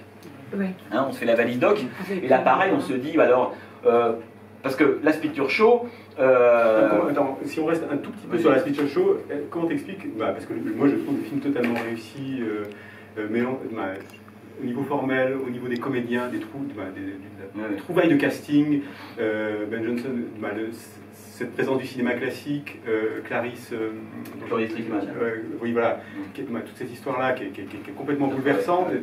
Et je trouve que ce film est quand même, au niveau de sa filmographie, a, une tenue. Et, je, me suis, je me suis dit, mais c'est l'histoire d'un, pas d'un hasard, mais qu'est-ce qui fait que ce film sort quand même de sa filmographie et, et rencontrer son public ce, qui, était une chose importante pour lui. Hein, Alors, euh, enfin, il sort sa filmographie du point de vue de la reconnaissance mm. et de la, du fait que c'est la Picture Show est le film qui va faire exploser Bogdanovich. Mm. Parce que La Cible, mm. euh, c'est un film qui, euh, qui, est relativement peu vu, qui va devenir un peu culte dans les années suivantes, euh, qui sera redécouvert au moment de sa sortie. Très peu de, gens voient, la cible. Par contre, La Picture Show, oui. La Picture Show, c'est ce qui fait que Bogdanovich va être pendant 3-4 ans une superstar Hollywood. Mais pas un, petit réalisateur. À côté, dire, les, deux Oscars, six nominations. Ah oui, bien sûr. il, est sur les plateaux de télé, il est invité partout. C'est vraiment. Le... En plus, le personnage, il, il sorte ah, de dandy, bah, très, euh, ah, bah, toujours très élégant, très classe, le cigare. Bah, il est toujours resté comme ça d'ailleurs. Oui, oui, voilà. Et euh, non, non, ça c'est vrai. Mais, donc là, surtout, c'est le film qui le fait exploser. Euh, donc il va devenir une superstar. dans, le, dans le doc dont je vous parlais tout à l'heure, qu'a fait Bill Tech, c'est intéressant parce qu'on voit les bandes annonces d'époque des films de Bogdanovich. Ce qui nous semble fou aujourd'hui, c'est que le, le, héros des bandes annonces, c'est lui. C'est même pas Barbara Streisand, Ryan O'Neill, Burt Reynolds, enfin qui, qui tournent avec de grands acteurs à ce moment-là. une partie du meilleur cinéma américain de l'époque tourne avec Bogdanovich, mais il est tellement célèbre, il est tellement courtisé, il, a tellement la cote, il, passe son temps à faire des shows télé, etc. C'est la superstar Bogdanovich qu'il devient sujet de ses bandes annonces. C'est que les gens vont voir un film au sens de super auteur européen, pour le coup, un film de Bogdan. Et donc, ce qui va, la, Picture Show, alors, de ce point de vue-là, c'est un film qui sort de sa filmo. Après, est-ce que c'est un film qui sort de sa filmo Je ne sais pas ce que tu est-ce que, est-ce que tu sous-entendais qu'il sort de sa filmo qualitativement? Oui. Ah ouais, alors là je suis pas d'accord avec toi. d'accord, d'accord. Tu as décidé d'être pas sympathique. non, mais en fait, en fait, en fait j'ai vu Saint-Jacques et j'ai été, euh, je m'attendais à, quelque chose de voilà. Euh, ah oui, alors, non, mais je fais un petit saut dans le temps. Mais euh, c'est vrai que non, mais alors, non, mais pour faire court, je, ne suis pas d'accord avec toi. non, je pense que Vodavich a fait quelques très grands films, dont La Picture Show évidemment, évidemment. Mais je pense que Saint-Jacques est un grand film. Je pense que Masque est un grand film. Pas un très grand film. Lequel? Non, non, je dis La Show est un très grand film. Et là, tu dis Masque est un grand film. Non, non, mais c'est pour faire plaisir parce que je suis poli. J'aimerais dire très grand film aussi. Non, non, Saint-Jacques c'est un film. Qui a vu Saint-Jacques parmi vous hein Saint-Jacques c'est un film absolument. Mais c'est le. Mais Saint-Jacques, parce que toi t'aimes pas les films libres. Non, non, mais Saint-Jacques, non, mais j'ai pas, non, mais j'ai pas arrêté de penser à bord d'un bookmaker chinois. Je me suis, et j'ai toujours, je me suis dit tiens, voilà, c'est un peu moins que ça, c'est un peu moins que ça. Voilà, j'ai pas arrêté de les comparer. Voilà, Manfred doit prendre des. à te reposer. non, non, non, non. Moi je trouve que oui, voilà. j'ai senti même pas, pas l'hommage, mais c'est vrai que je, je, me suis pas, j'ai pas arrêté de comparer les deux et trouver que Saint-Jacques était un peu plus faible. Bon, le problème c'est qu'on n'a pas une heure, donc je peux pas t'expliquer. c'est pas que je peux pas t'expliquer. La question c'est même pas de ça. En fait, pour, disons que la question de Saint-Jacques, après on va revenir. Euh, la question de Saint-Jacques, c'est pas de savoir si c'est meilleur ou moins bien que un En fait, je me, on a on ne se pose pas un quart de seconde la question. C'est un, je pense, je comprends que tu dis ça parce que Ben Gazzara, parce qu'il est souteneur, parce qu'il a une équipe de filles, etc. Mais la comparaison, me semble-t-il, elle est ultra superficielle. Et d'ailleurs, si Bogdanovich avait été, euh, disons, disons, aussi idiot ou plus aussi intelligent que ça, il ne se serait pas dit deux ans après Bookmaker, je prends Ben Gazzara qui va jouer le rôle d'un souteneur avec des filles. Voyez? Tu vois ce que je veux dire Il est quand même un peu plus malin que ça. Mais, essaie de me faire Imaginez bien que dans ce il y aurait déjà des gens comme toi qui me diraient Mais écoute, docteur, c'est non, moi je, comprends ça et d'ailleurs. Non, je pense effectivement que quand il prennent. Parce qu'il faut rappeler que euh, Bonovitch était très ami avec John Cassavetes. Et, euh, et, notamment fin des années 70 et dans les années, dans les années 80. Et qu'au départ, c'est euh, John Cassavetes qui doit jouer le rôle que joue Ben Gazzara et, euh, parce qu'il a envie de. Et puis un jour, euh, euh, il rencontre John Cassavetes, il dîne avec lui, bon je fais court, hein. Ben Gazzara débarque, qui est évidemment l'acteur l'acteur cassavétien par excellence. D'ailleurs, Ben Gazzara, il, le disait lui-même, il a les grands films qu'il a tournés, il n'y a pas 36, hein. il y a Autopsie d'un de Preminger, il y a Cassavetes, il y a Saint-Jacques, ça va assez vite. Quoi. Il voit arriver Ben Gazzara, et il se souvient Bogdanovich qu'il l'avait vu il y a très très longtemps dans une pièce de théâtre. Il avait déjà été fasciné par ce type-là. Donc il est face pendant le repas à Cassavetes et Ben Gazzara en disant Mais Saint-Jacques, c'est qui? À qui je vais donner. Mais il est quand même du côté de Cassavetes. Le lendemain, il appelle, et puis il aime beaucoup le côté paternaliste, extrêmement sympathique. Enfin, Saint-Jacques, c'est Ben Gazzara. En Jack Flowers dans le film. Et il appelle le lendemain euh, en lui disant Bah écoute, j'avais pensé à toi, mais objectivement, à ton avis, qui sera le meilleur pour jouer Jack Flowers? Cassavetes ou Ben Gazzara Et toi ou Ben Gazzara Et Cassavetes lui dit Ça sera évidemment Ben Gazzara. Et c'est pour ça que euh, Bogdanovich va choisir Ben Gazzara, qui a un rôle important dans le film. Hein. Je pense que c'est le seul film, à mon avis, de Bogdanovich qui repose à ce point sur les épaules d'un acteur. En l'occurrence Ben Gazzara, ce qu'il est, alors tu as raison, hein, ce qui le meurt d'un bookmaker chinois, le jeu génial de Ben, de ben Gazzara, évidemment, la façon, c'est Ben Gazzara qui dirige Bogdanovich, l'acteur dans le film, c'est lui qui lui apprend euh, comment jouer. Pas les, pas les places de caméra, mais il lui donne des indications. L'acteur. Oui, l'acteur. Dirige l'acteur. Hein. Et euh, donc, euh, et c'est intéressant parce que Saint Jack, c'est le film, pour ceux qui connaissent un tout petit peu la carrière de Bogda, il commence en 68, donc il est star pendant 3-4 ans, il fait des films qui, marchent terriblement bien, et puis il prend son premier bouillon avec Daisy Miller, violent. Deuxième, alors Nickelodeon et Enfin l'amour, vous avez peut-être vu ces films-là, hein, qui sont encore des films, des films d'époque. En fait, c'est ça qui est aussi intéressant avec, euh, avec peut-être qu'on y reviendra d'ailleurs. Et, euh, et donc, euh, il se retrouve en 3-4 ans après avoir été au sommet, il se retrouve relativement marginalisé à Hollywood, hein, d'autant plus qu'il refuse des films importants. On lui propose Le Parrain, il n'en veut pas, on lui propose L'Exorciste, il n'en veut pas, il veut pas tout ça. Donc il est en 76, il est un peu au creux de la vague. Et donc il se pose des questions d'ailleurs, et là, là encore, il a, beau ne pas appartenir totalement au nouvel Hollywood, hein, parce que c'est une question qu'on pose toujours à Bogdan, mais alors comment vous appartenez au Nouvel Hollywood Il dit, mais moi je ne me sens pas appartenir au Nouvel Hollywood, il le dit lui-même, mais il suit le même trajet. Bien qu'à un moment, il essaie de monter une maison de production avec Friedkin. Bien sûr, à un moment de sa gloire, moment de sa gloire, avec Coppola et Friedkin, tous les trois, ils montent une boîte qui s'appelle Directors Company, etc., qui va capoter pour plusieurs raisons, d'ego, d'argent, etc., etc. Mais donc il est au sommet, il retombe complètement, et ce que je trouve intéressant dans la carrière de Bogdanovich, c'est que en gros, entre 68 et 80, il ça épouse exactement la carrière de tous les cinéastes de Nouvel Hollywood. Mm. C'est-à-dire qu'en 68, ils font souvent leur œuvre extrêmement, euh, 69, extrêmement importante, ils explosent, ils se maintiennent à un certain niveau 3-4 ans, 75, tout le monde sait que c'est le début de la fin ou la fin du début, j'en sais rien. Mm. Hein. et puis euh, arrivent les échecs euh, en, euh, d'affilée, et on se retrouve alors en 80, tout le monde connaît La Porte du Paradis, Sorcerer, New tous ces films-là qui sont des, des échecs énormes, jusqu'à Red, on pourrait dire de Rest de Warren Beatty. Je ne sais pas si vous avez vu Rest de Warren Beatty, c'est un film formidable, mais alors, bon. Et, euh, et, donc Bodanovich, en fait, même sa carrière suit ce mouvement-là. Donc, en 79, ça fait trois ans qu'il n'a pas tourné, et il se remet en question, comme beaucoup. Moi, je me souviens d'un jour Friedkin qui m'avait dit, mais le problème, c'est qu'en 75-76, on a eu du succès, on a, on, on a, commencé à mener une autre vie, et tous les, ce qui a fait qu'on on a pu se connecter avec la jeunesse, avec le public de la fin des années 60, avec la contre-culture de l'époque, avec ce que c'était que le nouveau, enfin la génération du baby en fait, on s'en est éloigné. Et 4-5 ans plus tard, en fait, on ne sait plus à quoi elle ressemble. Ils savent tellement pas d'ailleurs qu'ils ne sentent pas mm. que, les, que les désirs, les envies sont en train de changer, et puis ce qui amènera aux, années 80. Ils ne le voient pas venir, donc ils sont toujours dans leur, en fait, sur leur trajectoire de départ, la fin des années 60, début 70, d'où le fait qu'on aille tourner Sorcerer, ou qu'un type comme Chimino pense que La Porte du Paradis, c'est un film qui est raccord avec 80, c'est complètement fou. Ben oui, et lui-même le dit, c'est qu'un type qui fait La Porte du Paradis en 80, c'est un type qui a complètement perdu le contact avec le public américain à ce moment-là. Mm. Et Bogdanovich, c'est la même chose. Donc qu'est-ce qu'il se dit? Il dit remise en question générale, ce qui est plutôt sain de sa part. Il dit mais peut-être que je me suis trop enfermé, des films de studio un peu coûteux, avec des stars, j'ai commencé à faire des compromis avec, avec les studios, parce que moins, moins les films marchent, il en parle dans, le, mm. film plusieurs fois. Moi j'aime beaucoup ce rapport avec les studios. Mm. C'est que quand on sort d'un succès, on a carte blanche c'est Hollywood. Hein. Quand on sort d'un film qui n'a pas trop marché, on a moins carte blanche. Et, euh, et pour que le film se fasse, il faut qu'on accepte de céder un peu à la pression des studios. Et c'est là que commencent les compromis.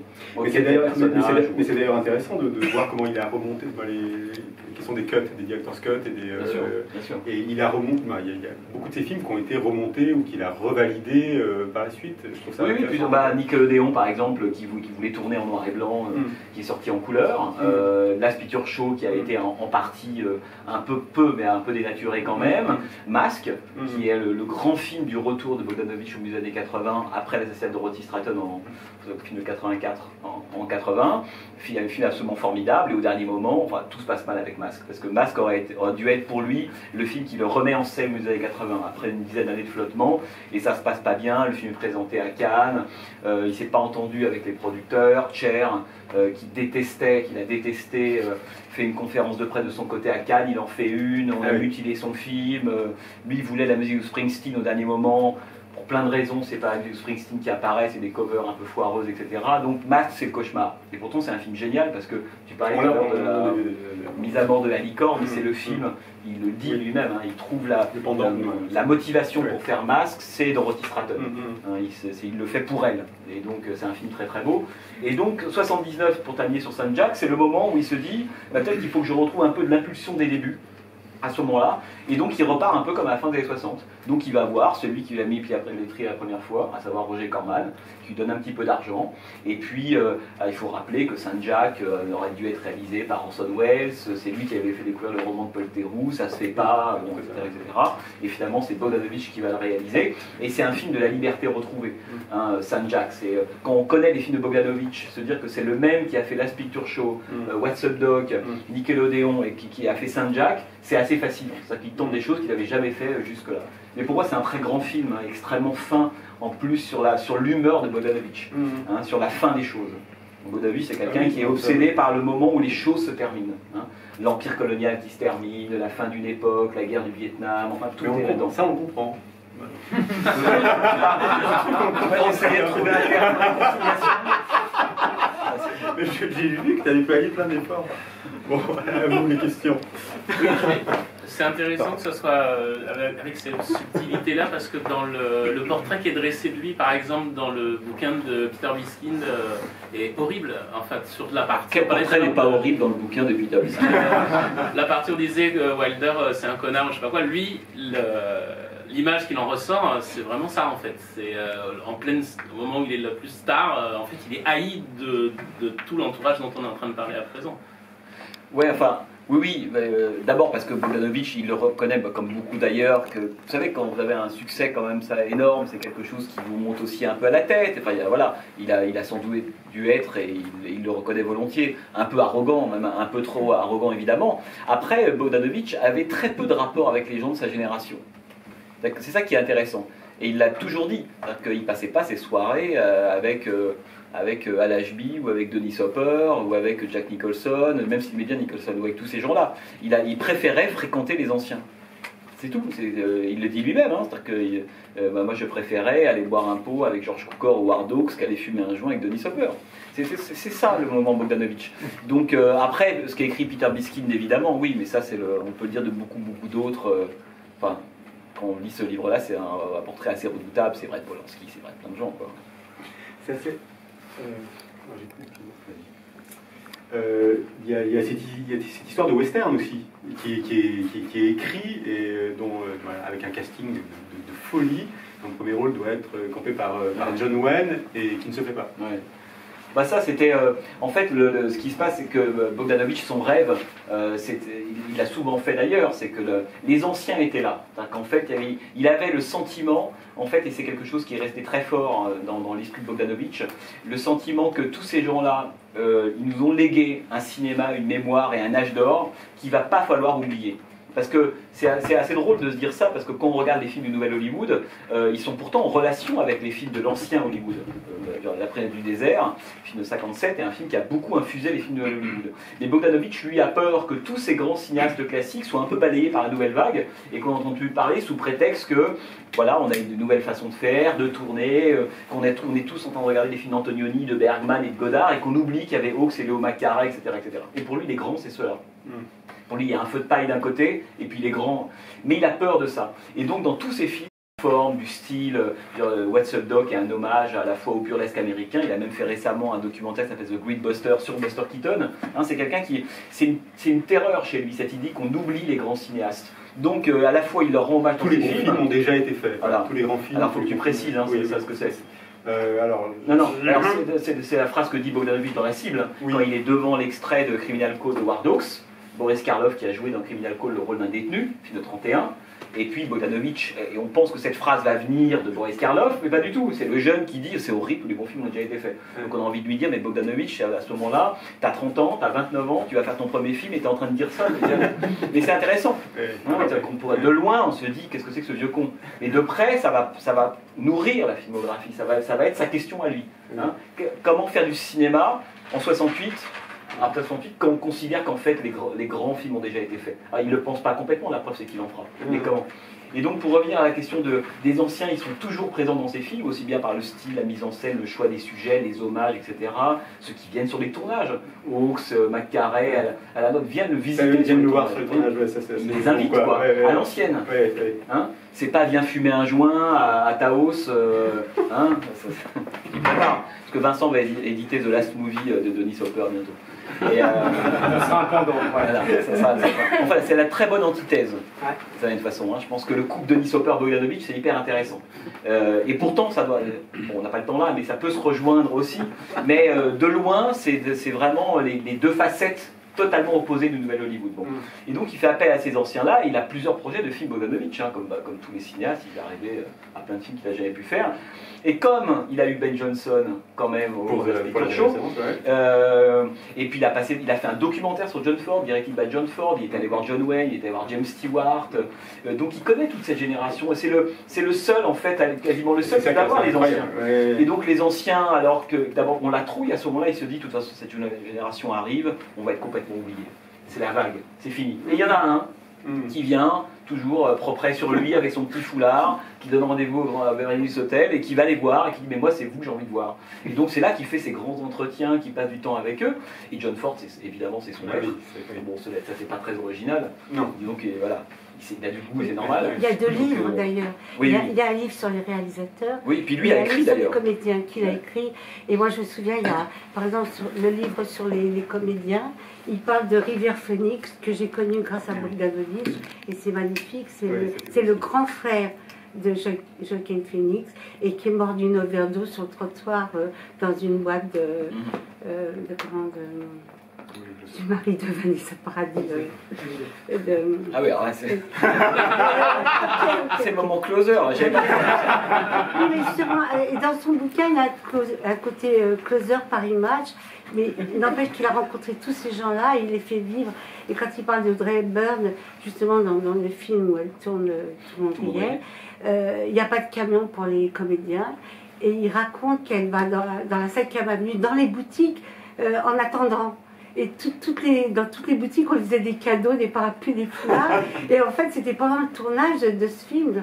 il raconte des choses incroyables sur les. Parce que Audrey Byrne était. C'était même pas une star, c'était une, une, superstar. il n'avait pas de camion pour elle dans, dans la 5e avenue. Quoi. Donc euh, ces deux bouquins sont, sont formidables. Mais d'ailleurs, un truc, c'est marrant parce qu'à propos d'Audrey Hepburn, euh, c'est qu'il est par rapport à la question de la référence, la question du cinéma, on m'a posé des questions hier, hier là-dessus, cette question de l'obsession de chez Bogdanovich de la référence, et il raconte quand il va faire Tout le monde riait, donc il retourne à New York faire ce film-là. Or, quand on est à New York, enfin Manhattan, quand on est à Manhattan avec Audrey Hepburn, il y a une référence euh, qui est énorme et monstrueux, c'est Breakfast à Tiffany de, de Blake Edwards évidemment. oui, il choisit de filmer. Voilà. Euh, et il choisit de ne pas. Il faut surtout éviter ça. Donc c'est ça qui est aussi intéressant, c'est qu'il met même la référence.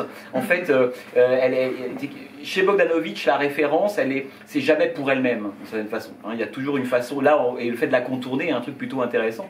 Et, il, y a toujours un, il, y a toujours un dialogue avec, les, avec les, oui, avec les aînés, avec les films qu'il a, ouais. a fait fini sur le western avec euh, John Wayne. Et, voilà, l'histoire elle est donc il fait et que John Wayne, voilà, que Ford n'a pas voulu. Voilà, c'est que quand il écrit euh, Last Picture Show, Bogdanovich, en fait, il faut le rappeler, film qui se passe donc au Texas, une petite ville qui s'appelle Anaheim. Euh, qui n'existe pas entre parenthèses hein, au Texas c'est pas une ville et donc moi j'avais posé la question d'ailleurs il avait dit peut-être enfin me faisant comprendre je veux pas vous le dire mm. parce que comme ça n'existe pas je lui dis pourquoi ça s'appelle Anaheim et euh, je ne sais pas si vous vous souvenez, qui a vu la Picture Show parmi vous hein? Voilà. Ah bah très bien. Voilà. Et vous vous souvenez de la, du, film qui est projeté à la fin dans le cinéma? C'est quoi? Red River. Voilà, Red River. Et Red River, c'est quoi? Oui, et la ville, c'est quoi? La Vienne. Hein. et donc, euh, sans doute que la, vie de la narine était une sorte d'écho. Ah, non, non, mais. Ah, non, mais. sur Saint-Jacques. de Saint-Jacques. Non, mais non, je suis sur la Vilaine. J'ai voyagé, j'ai voyagé. J'aime bien la dernière scène, j'aime bien les séquences. La tout ça. Tu m'aimes pas, hein, Et donc, et donc euh, tout ça pour dire quoi Ce film qui se passe donc dans les années 50 au Texas, il, va, il faut rappeler que Bogdanovich est un, pour le coup est un vrai citadin euh, et qu'il n'est jamais allé au Texas avant d'aller tourner la Picture Show. Et donc il va adapter un roman euh, qui s'appelle de Larry McMurtry, qui est donc le The Last Picture Show. et c'est comme ça qu'il va connaître cette espèce d'auteur de, à qui il va demander quelques années plus tard d'écrire un western. hein, Larry McMurtry, et euh, qui va écrire donc un western qui s'appelle The Street of Laredo, hein, les rues de Laredo. Et là, euh, Bogdanovich a sans doute envie de, tourner presque le feu d'artifice euh, absolu. Donc il y a Jimmy Stewart, John Wayne, Cloris Lickman, Ben Johnson, enfin, en gros, il reprend tout Ford, comme ils sont encore vivants à l'époque. Euh, et puis, donc il a, le truc est écrit, euh, c'est un film type Red River, il a envie que ce soit une épopée, c'est les, directions qu'il donne aux scénaristes, etc.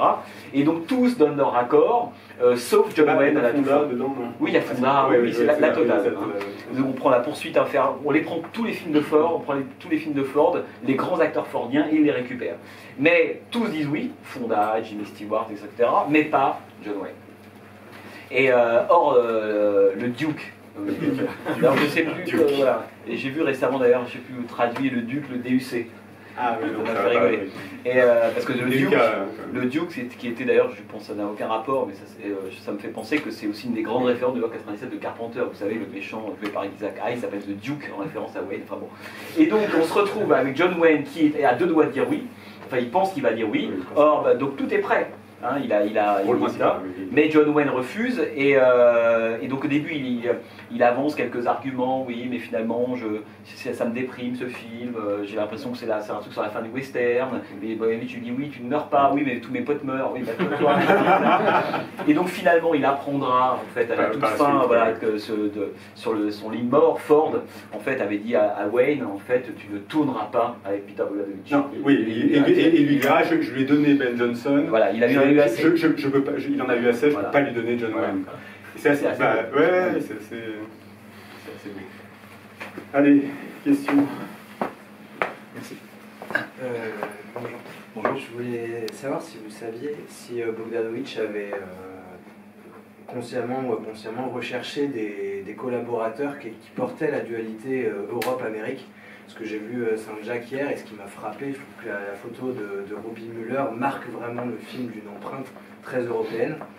Et euh, voilà, alors je sais pas si lui, s'il le recherchait ou pas, mais euh, je trouve que ça, ça joue beaucoup pour le paradoxe euh, esthétique du film. Ouais.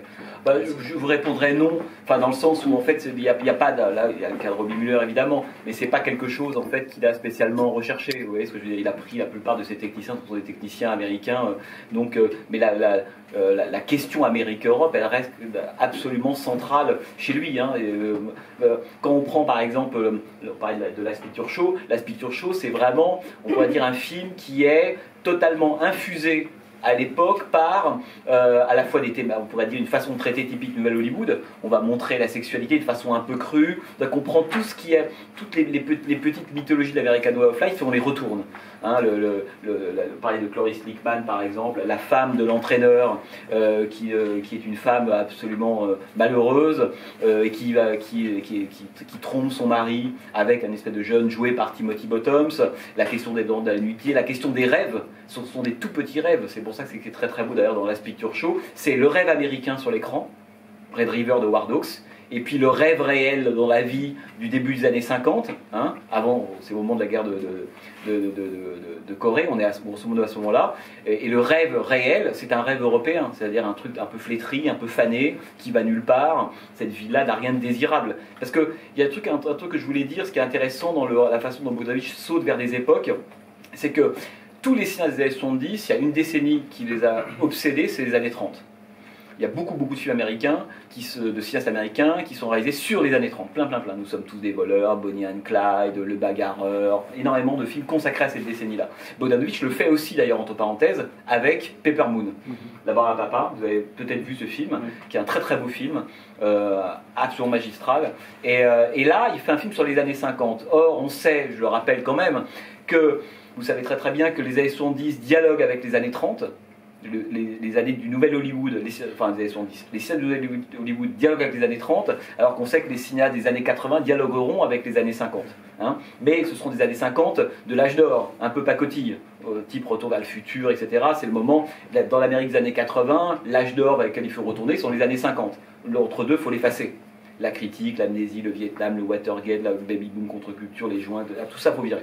Donc, et dans les années 30, il y a le collège. Il y a, le collège. Oui, mais c'est sûr. Après, il y, a une, question de génération. Oui, oui. C'est-à-dire qu'effectivement, euh, quand c'est intéressant, euh, intéressant, de se réapproprier ces, ces années-là avec la liberté. Alors Absolument. mais, ce qui est pas, mais ce qui est intéressant, c'est que c'est un geste typique des années 80. Ça, cette idée de l'obsession des années 50, c'est une obsession des années 80. L'obsession des années 30, pour plein plein de raisons qu'on n'a pas le de développer, c'est une obsession des, années 70. Mais cette obsession des, années 80, en fait, Bogdanovich la récupère, donc on se dit, c'est bizarre, hein, Hollywood, les années 50, ils n'ont pas du tout traité. Pour eux, c'est le diable absolu, ils n'ont pas du tout envie. Intéresse, c'est de reconnecter avec la mission de filiation des années 30. Ils ont le sentiment dans les années 70 que c'est de là qu'ils viennent. Hein, et que le cinéma vient de là, d'ailleurs. Et le codage, etc. Bon, j'avais une longue discussion d'ailleurs avec Nicolas Saada, où on se disait que finalement le pré-code, c'est la vraie pré-genèse du nouvel Hollywood. Je pense que c'est vrai. Et alors, dans les années 80, c'est les années 50. Hein. et c'est intéressant de voir que Bogdanovich, lui, il revient sur la décennie qui sera la grande décennie du revival des années 80, le côté réactionnaire, le Great Again des années 80, c'est les années 50. Hein. Euh, et lui, il lui dit, bah, Great Again, regardez ce que c'était. Est-ce que quand on regarde la Picture Show, on a envie de plonger dans cette espèce de petite vie adorée Hein et euh, enfin, voilà, je trouve c'est. Euh, j'ai pas eu tout répondre à votre question. je vous avez dit non. Moi j'ai une question. Euh, euh, du coup, son regard, il, avait un regard critique sur, ses, contemporains. Et là aujourd'hui, euh, parce qu'il est donc amoureux de, des anciens, mais aujourd'hui, par rapport à son époque, à lui, le nouvel Hollywood, tout ça, il a quel regard maintenant? C'est un regard qui n'a pas, enfin, pas changé. C'est-à-dire qu'en fait, euh, euh il, avait, à la, même à l'époque du Nouvel Hollywood, il avait déjà des détestations. Des films qu'il aimait euh, plus ou moins d'ailleurs, mais euh, moi je la que j'avais avec lui, et je le trouvais souvent sévère sur des, films des années 70. Hein, on, a, on a eu cette discussion autour de Nashville de Robert Altman, que lui va tourner Nashville Blues, il va tourner dans les années 90 un film à Nashville, et je lui dis, quand on va à Nashville, ça fait partie de ces endroits connotés par, pour moi par un chef-d'œuvre. il est impitoyable. Euh, il est impitoyable. Et, euh, et, donc je lui dis euh, comment est-ce qu'on fait en 92-93 quand on va tourner à Nashville mais c'est une, vraie question, quoi. Mm. Mais aussi bien de cinéphile que de cinéaste. Comment on fait Alors après, on peut se dire, personne n'a vu le film de Robert Altman. On peut toujours penser qu'il y a le pire, mais comment, voilà. Mais quand on sait qu'il y a eu ce film à la fois enfin vous avez, j'espère tous à peu près vu, Nashville de Robert Altman, film incroyable, qui a tout traité, la, dimension chorale, politique, l'univers de la musique, la country, etc. Et donc je lui dis ça, il me dit, moi pas du tout, euh, Nashville, c'est un film qui m'intéressait pas, au contraire, et puis il commence à partir en vrille autour de Nashville, un film qui ne l'intéressait pas, pour faire complètement autre chose. Et très souvent, on a une discussion sur Peckinpah qu'il n'aimait pas beaucoup. Moi c'est dur, hein, il y a des moments où j'ai fait des cachets d'aspirine. non, c'est vrai. Mais en même temps, mais c'est intéressant parce que... Est-ce qu'il arrive à dire, par exemple, sur guet bah, il mêle souvent le, une vraie sensibilité cinéphilique à une parfois une animosité contre un réalisateur et euh, il voulait prendre ma, ma, petite copine comme comédienne parce que McQueen voilà, voulait se taper la comédienne. Parfois on, est, on, est, on, est, dans la... Oui, oui c'est ce qui s'est passé, d'accord. Oui, oui, euh, oui c'est l'histoire Robert Evans euh, s'en est mordu les doigts d'avoir laissé tourner Ali McGraw avec Steve McQueen dans Guet-Apens. Oui. Ben, c'est, ça, oui, ça fait Ouais, je sais non, pas. je sais pas. si, si, si, mais ne relevez que ça. alors que, voilà, ce qui reste, c'est quand même un film qui est, plutôt réussi et une tension. Non, mais, ce que, ce que, ce que, ce que, je lui reproche, c'est de, de, basculer tout le temps, d'aller voir. Voilà. Moi, personnellement, c'est pas vrai. C'est un peu vrai quand même. Non, non, non, non, non, non, c'est pas vrai. Il y a des moments où il le fait. Il le fait. Après, la, la question, c'est de prendre un personnage dans sa complexité, mais à la fois dans ses forces et ses faiblesses. Mm. Il y a des, mais c'est ça qui est intéressant. Okay. Que, de se dire, par exemple, alors, il y a deux façons de dire. Bon, quand il, a, il attaque Peckinpah, Peckinpah, c'est pas son truc. Mais il a adoré Ford, Anthony Mann, etc. etc. Peckinpah, alors après on peut se dire, oui, bon, c'est pas bien, il n'aime pas Peckinpah. Je pourrais me dire, bon, bah Peter, je m'en vais. On dire ça. Mais ce que je trouve intéressant, à mon avis, c'est plutôt de se dire qu'est-ce qui, à quoi il n'est pas sensible chez Peckinpah. Comme le, sur Léon, par exemple, qu'est-ce qui fait que la rencontre va, plan, plan, avorter, etc. Et moi, je pense que quand on voit les films de Bogdanovich, euh, c'est des films qui ont tous une espèce de tenue. je pense que c'est quelque chose qui, qui, l'importe terriblement. C'est-à-dire qu'on peut traiter de tous les sujets, y compris La Picture Show, qui est un film qui raconte des choses très violentes. Hein, quand vous, regardez ce que raconte La Picture Show, c'est quand même la déprime à tous les niveaux. Hein. c'est très très violent. Mais pour autant, en fait, l'excès de violence, l'excès de nudité, euh, la question de l'ambiguïté, par exemple, c'est quelque chose qui n'est pas présent euh, dans, les films de Bogdanovich. Euh, c'est intéressant cette, cette question-là. Alors, Peckinpah, c'est le de l'ambiguïté. C'est qu'il vous dit c'est noir et blanc il ne faut pas penser ou l'un ou l'autre. Viol des chiens de paille, par exemple. Euh, euh, Bogdanovich, ce qui est intéressant, c'est que ce n'est pas quelqu'un qui, installe ses films dans la question de l'ambiguïté. C'est quelqu'un qui les installe dans la question de la complexité ce qui n'a rien à voir. C'est-à-dire qu'on se dit, euh, ce personnage-là, il a plusieurs facettes en même temps, il y a plusieurs choses à voir, etc. Et c'est comme ça qu'on va aimer un personnage comme Saint-Jacques que tu adores, par exemple, ou d'autres. Peckinpah, pas du tout. Peckinpah, non, bien sûr. Mais à la fin, tu, vas, tu, vas, tu vas vouloir que même je te dédicace Saint-Jacques. Et, euh, mais donc ça c'est quelque chose d'intéressant, de, que de se poser toujours la question, par exemple sur Léon, on en parlait hier. mais toi tu le formalises comme ça, tu le développes comme ça, mais lui ne se l'explique pas comme ça. Non, dire, il... se l'explique. Ah oui non, mais... C'est en off alors Oui, mais c'est même pas en off, c'est pas ça, c'est que t'as pas envie forcément, tu t'as que lui, tu vas pas chercher Bogdanovich pour qu'il hmm. ait un avis. Euh, si tu veux, qui soit circonstancié, hmm. ultra intéressant surtout. D'accord. Il y a des moments, même la façon dont il se bloque sur certaines choses, moi ça m'intéresse. Hmm. La façon dont il peut parler pendant des heures d'Alan hmm. euh, ou de tel plan d'un film de Wells ou de, ou de Hawks m'intéresse aussi. Hein. C'est pas, évidemment, les cinémas, le cinéma de, ses contemporains, c'est quelque chose qui ne goûtait pas beaucoup. mais je pense qu'il faut l'entendre aussi, ça. Hein, euh. oui, mais ça résonne de manière assez courte. Voilà ce que oui, oui, bien sûr. Tu, tu, entends, parce que tu aurais envie de dire et, et donc. Et, mais, non, mais regarde sur Léon. Euh, on en parlait hier. Léon, donc, Léon l'appelle quand on une fois la Révolution. je, vais, je, vais, vite là-dessus. Euh, il vient voir son film, dit pourquoi pas, etc. etc. Léon en a marre, western il a, il a clôturé avec l'Ouest, il a envie de quelqu'un d'autre pour tourner la Révolution, pour produire. Et donc il se rencontre avec Vodanovic, Vodanovic part à Rome, il voit, euh, donc il va voir Léon. Euh, Léon il s'en fout un peu en fait, ça l'intéresse pas plus que ça, mais par contre ce qui l'attire c'est les scénaristes, entre parenthèses, de la Révolution. Notamment Vincenzoni qui avait écrit La Grande Guerre de Bonicelli, qu'il aimait beaucoup. Et euh, donc voilà, il commence à bosser sur une fois la Révolution, etc. Et puis finalement, bon, on connaît l'histoire, ou pas d'ailleurs. Léon va le voir en lui disant toujours, ben voilà, alors euh, il faudra, là c'est, ça c'est gros plan, là c'est plan moyen, et puis Bogdanovich lui dit, mais moi si tu réalises, à quoi je sers Donc, euh, et donc ça se passe pas bien, et puis à un moment donné pour l'envoyer bah, aller, il lui dit, mais qu'est-ce qui, qu'est-ce qui va pas, etc. Il dit, euh, de toute façon moi j'aime pas les complots. ça règle le problème tout de suite. Mais ce qui est, alors le problème c'est que quand on, quand on voit les films de Bogdanovich, évidemment la question, la question n'est pas là.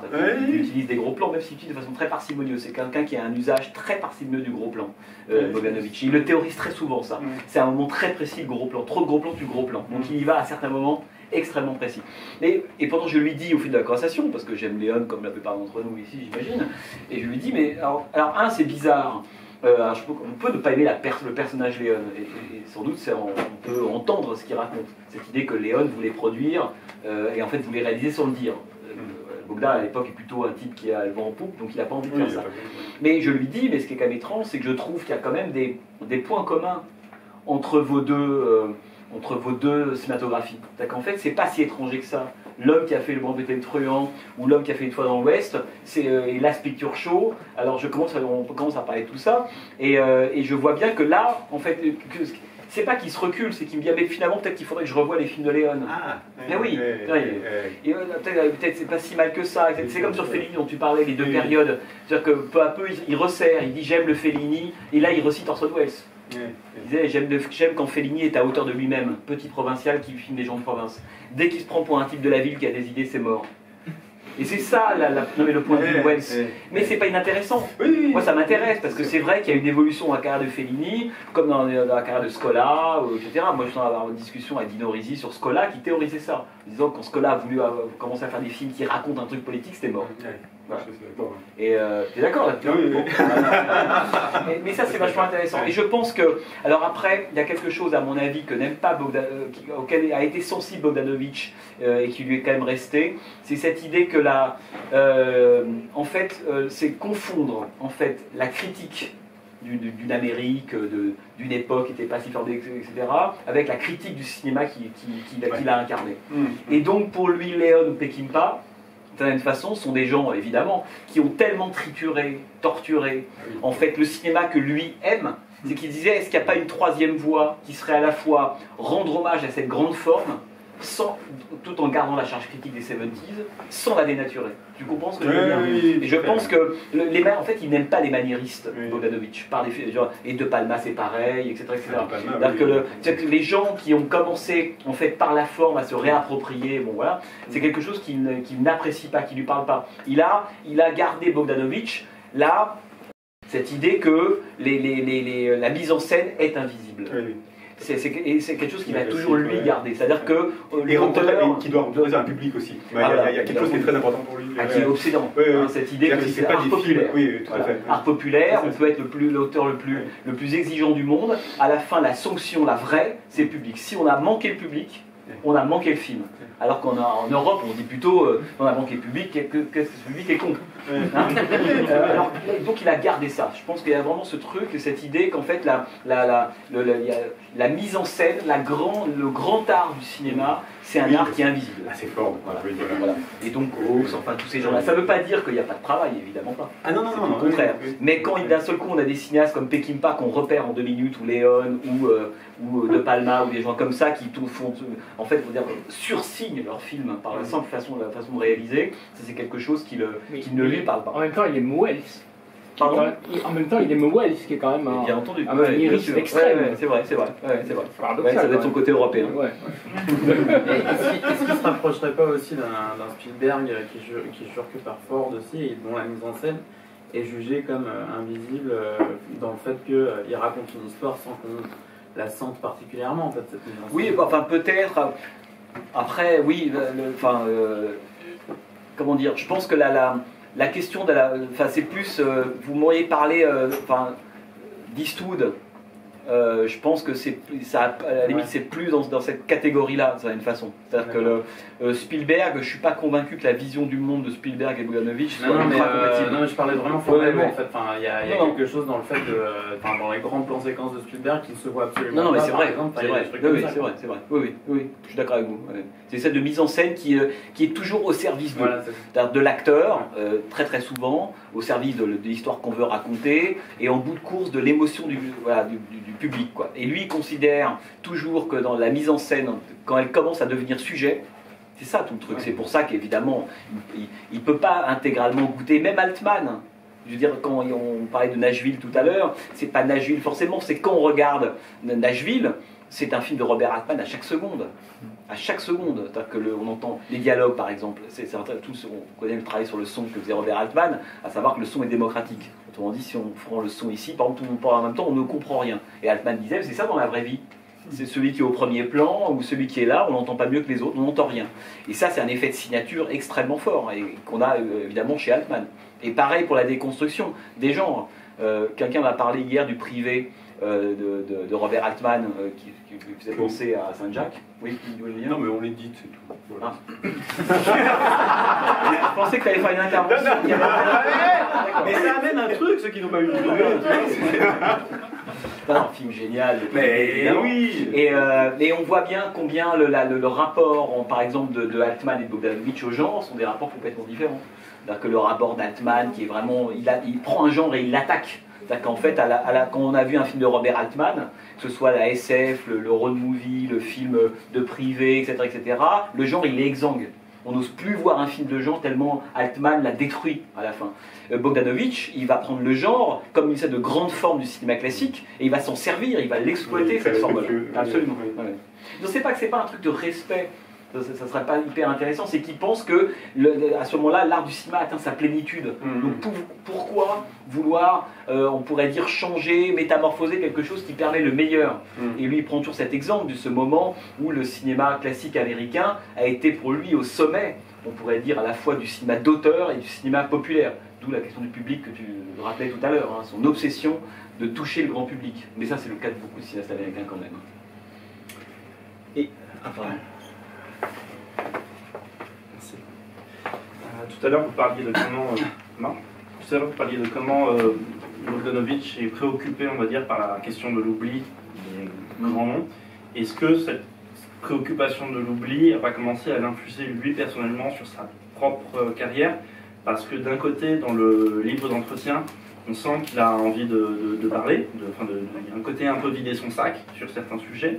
De l'autre, il y a le livre sur Dorothy Stratton, où il y a, si lui ne raconte pas cette histoire, enfin, personne d'autre la racontera, elle sera une, anonyme définitive. Et en plus, en parallèle maintenant, il y a euh, bah, la réactivation de The Other Side of the Wind, dans laquelle il a été impliqué, qui est un film qui lui a pris quand même pas mal de temps dans sa vie, qui a été d'abord de la fascination, et puis ensuite qui a été, enfin, qui a été aussi douloureux pour lui. Et euh, maintenant que c'est un cinéaste qui a été pendant du coup quelques années très très célèbre, et puis presque du jour au lendemain comme Fred Keane, enfin, qui, a, qui a coulé, euh, enfin, ça donne l'impression en fait qu'il. Enfin, qui a coulé, non, mais enfin, Mais ça donne l'impression en fait que c'est quelqu'un qui est euh, pas traumatisé, mais qui est vraiment en fait inquiet à l'idée de devenir lui-même en fait oublié et que euh, qui sera là pour raconter son histoire à lui Bogdanovich. Alors ok à vous mais, oui, oui je comprends. Oui alors comment dire? Moi je pense que quand je vais le voir d'abord parce qu'il y a le fait d'être français c'est aussi une, génération de cinéastes peut-être encore, encore, encore un peu aujourd'hui pour lesquels ça compte c'est-à-dire qu'il y a, y a le, disons que la reconnaissance par la cinéphilie ou la critique française ça a une, disons une valeur un peu différente. Quoi. Euh, voilà, que si on vient, je sais pas d'ailleurs, voilà, le temple de la cinéphilie euh, a encore une sorte. En plus, moi, quand je vais le voir à ce moment-là, euh, je me retrouve dans la position de, de, de, Bogda allant voir les maîtres, de même façon. Donc, ce que je fais, il le connaît par cœur. Et donc, il a adoré faire ça, il me l'a souvent dit d'ailleurs. Il comprenait donc cette générosité qu'il a eu avec moi, parce qu'il aurait très bien pu me dire bon, ça fait 25 heures qu'on parle, il y en a marre, j'ai tout dit. Non, non, pas du tout. C'est que je pense que d'une certaine façon, il, il, était, lui, passé par là, donc il voyait très très bien de quoi il s'agissait. La question de l'inquiétude de l'histoire et de la mémoire, moi je pense qu'il l'a très très tôt. C'est-à-dire que je dirais même qu'il l'a, c'est quelqu'un, bah, qui est né anachronique, euh, qui est né avec la, la, trouille de ce qui disparaît, qui est né élégiaque, d'où le titre du livre, qui est né avec un sentiment extrêmement fort du temps qu'on perd, du temps qui, du présent qui s'évanouit. Hein. Last Picture Show est un. Je sais pas pourquoi je parle un micro. Si, parce qu'on enregistre. Last Picture Show est un film qui est vraiment un film là-dessus, hein, sur, la, la disparition du plan d'ouverture au, plan, de fin. Le cinéma de Bogdanovich, c'est ça. Et donc je pense que la peur de la disparition de ce présent, en fait, on peut dire qui s'évanouit, etc., c'est quelque chose qu'il a très très tôt, dès la fin des années 60, début 70, et tous les films qu'il fait à ce moment-là sont des films aussi qui tentent presque de maintenir vivant ce qui pense être lui quelque chose, euh, non pas le cadavre, mais euh, déjà un, type de cinéma qui risque de disparaître si personne euh, ne s'en occupe.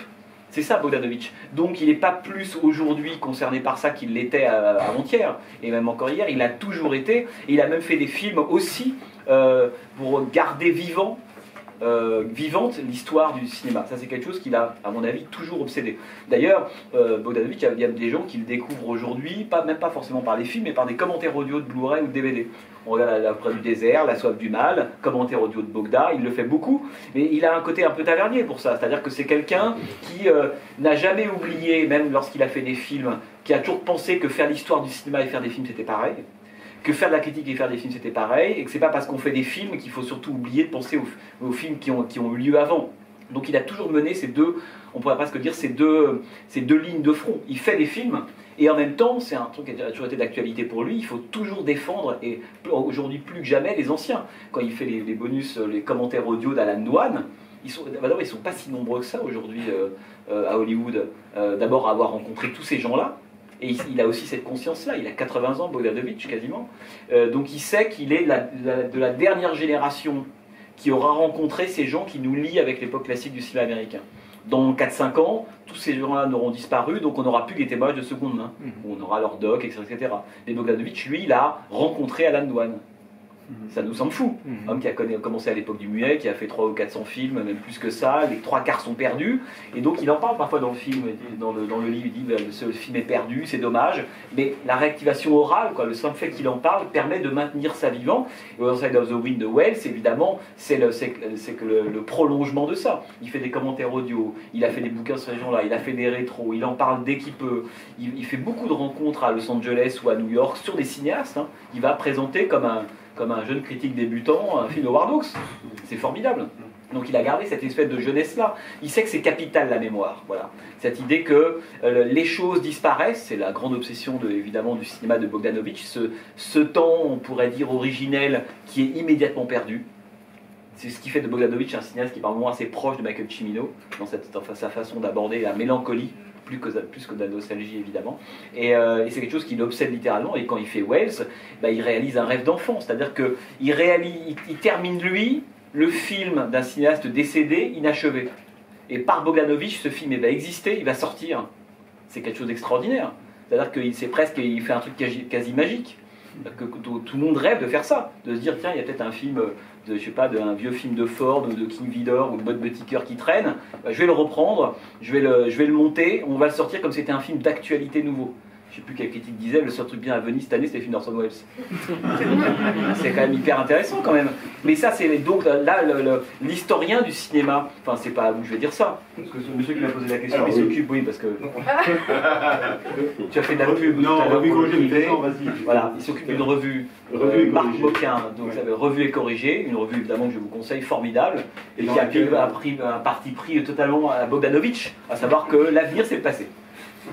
Donc, il y a- y, y un article sur Bogdan, euh, dans ce numéro 2. Il y a Il y a un article sur Bogdan On parle des, des deux films de- qui ont été édités par Carlotta Voilà, et c'est des ça. deux bouquins Voilà. Donc c'est une revue sur le, sur le patrimoine et qui euh, justement euh, rompt cette espèce de différence ou de, de, de frontière qu'il y aurait entre l'actualité et le patrimoine. Et parce qu'évidemment il n'y en a pas. Bon, on va, on, problème avec toi, Jean, si, c'est con. Non, On t'écouterait- on, on t'écouterait, non, mais on t'écouterait encore des heures et des heures. On va être obligé de s'arrêter là. Il faut fermer un petit. Et puis Absolument. qu'on ait un petit peu, une petite demi-heure pour, euh, voilà, Pour pour-. Comment Donc, le cinéma comme élégie, euh, que tu euh, dédicaceras, ceux qui euh, veulent euh, voilà, les acheter. La mise à mort de la licorne de Ricky Stratton, 1960-1980. Ici. Le magnifique Saint-Jacques. Un très très bon Saint-Jacques. Oui. Je te laisse. C'est un rattrapage. Et, évidemment, la dernière séance de la Switch Show, ici, donc en DVD simple et en combo euh, dé- décoré. Merci beaucoup, Jean-Baptiste Merci à toi.